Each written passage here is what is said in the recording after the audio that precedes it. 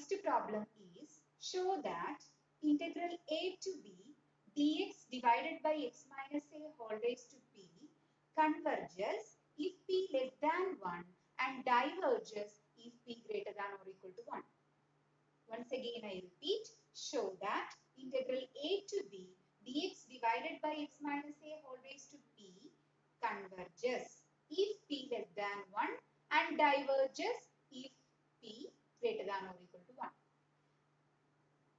Here we have to show that the given improper integral integral a to b dx divided by x minus a whole raised to p converges p less than 1 and diverges if p greater than or equal to 1. First of all, we consider the integrand. Here the integrand is 1 by x minus a whole raised to p. Here the integrand is 1 by x minus a whole raised to p which becomes infinity which becomes infinity at the lower limit x is equal to a.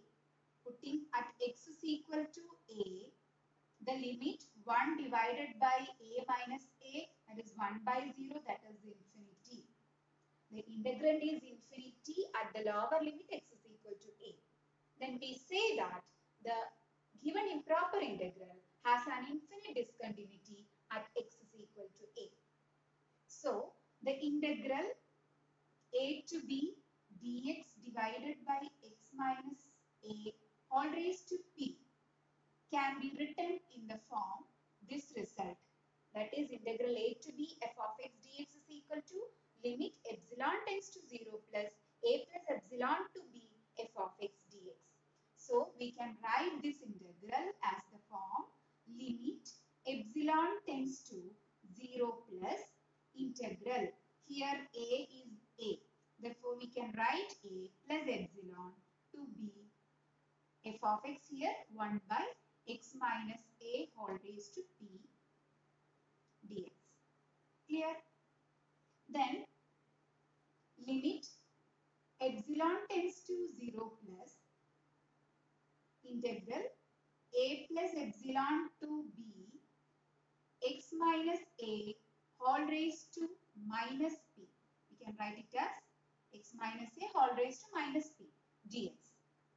Next we integrate limit epsilon tends to 0 plus x minus a whole raised to minus p uh, can be integrated as x minus a whole raised to minus p plus 1 minus p plus 1 divided by minus p plus 1. Limit a plus epsilon to b equal to limit epsilon tends to 0 plus. Putting the limit upper limit is b therefore b minus a whole raised to minus p plus 1 divided by minus p plus 1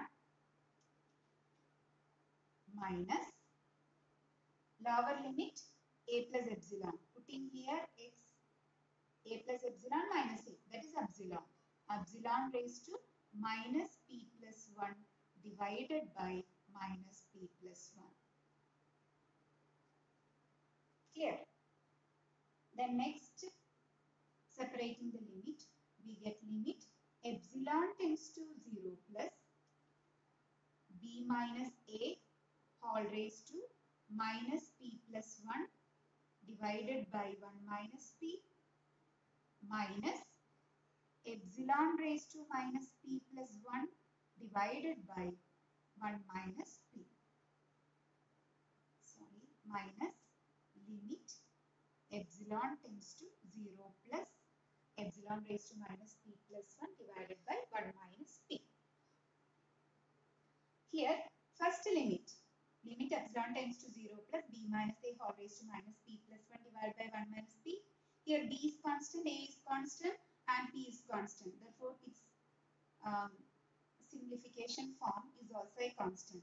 Therefore, applying limit we get that constant b minus a whole raised to minus p plus 1 divided by 1 minus p minus epsilon raised to sorry limit epsilon tends to 0 plus epsilon raised to minus p plus 1 divided by 1 minus p.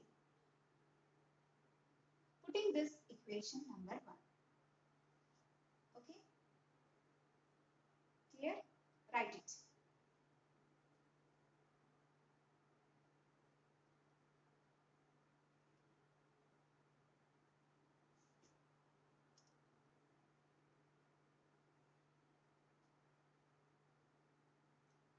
that is equal to.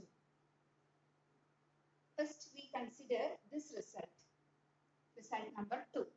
Ebs limit epsilon tends to 0 plus epsilon raised to minus p plus 1 equal to 0 if p less than 1 and infinity if p greater than 1.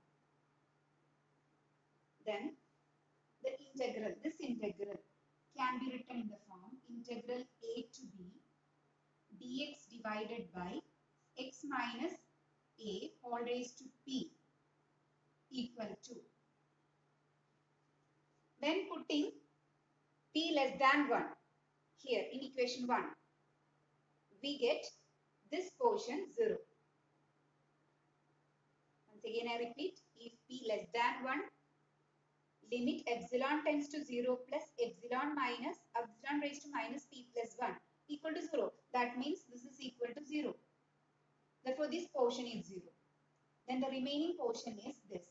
b minus a whole raised to minus p plus 1 divided by 1 minus p. Which is p less than 1. When p less than 1, the limit epsilon tends to 0 plus epsilon raised to minus p plus 1 is 0. Therefore, this portion is 0. Then the remaining part is b minus a whole raised to minus p plus 1 divided by 1 minus p. Therefore, we say that the integral a to b dx divided by x minus a whole raised to p uh, uh, ha has the solution uh, b minus a whole raised to minus p plus 1 divided by 1 minus p if p less than 1. Next, the uh, result if p greater than 1 this value limit epsilon tends to 0 plus epsilon raised to minus p plus 1 is infinity. If p greater than 1, this, this portion is infinity. Therefore, uh, its subtraction uh, minus is also infinity. Therefore, if p greater than 1, this portion is infinity. That is, we understand that integral a to b dx divided by x, x minus a whole raised to p. If p less than 1, b minus a divided by 1 minus p. b minus a whole raised to minus p plus 1 divided by 1 minus p. If p greater than 1, its value is infinity. Clear?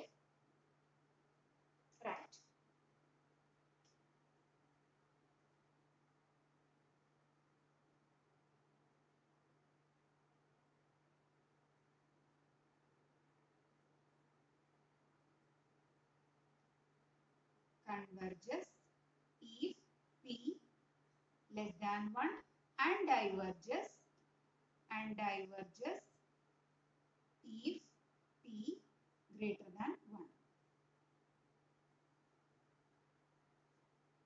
We get integral a to b dx divided by x minus a whole raised to p converges if p less than 1 and diverges if p greater than 1. Now we have to show that this integral diverges if p equal to 1.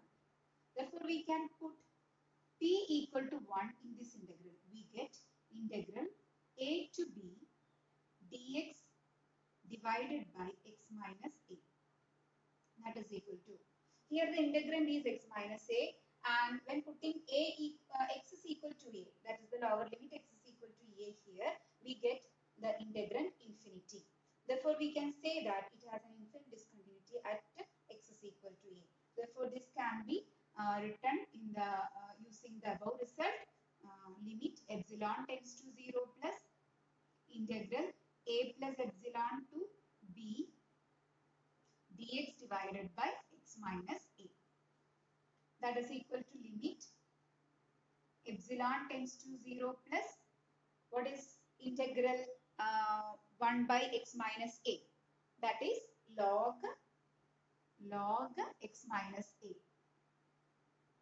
Putting a plus epsilon to b. a plus epsilon to b. then that is equal to is equal to limit epsilon tends to 0 plus this is log b minus a minus log putting a plus epsilon here cancelled we get log epsilon that is equal to limit epsilon tends to 0 plus log b minus a minus log 0. Log 0 is infinity. Therefore, this side becomes infinity.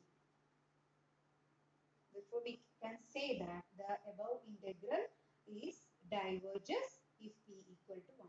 Therefore, integral a to b dx divided by x minus a whole raised to p whole raised to p diverges diverges if p equal to 1 if p equal to 1 so we can say that integral a to b dx divided by x minus a whole raised to p converges if p less than 1 and diverges if p greater than or equal to